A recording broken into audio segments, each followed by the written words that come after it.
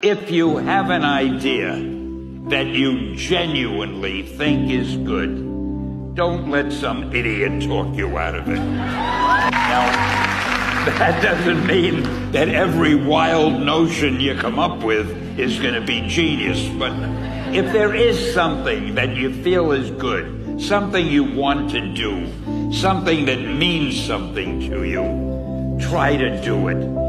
Because I think you can only do your best work if you're doing what you want to do, and if you're doing it the way you think it should be done, and if you can take pride in it after you've done it, no matter what it is, you can look at it and say, I did that, and I think it's pretty damn good. That's a great feeling.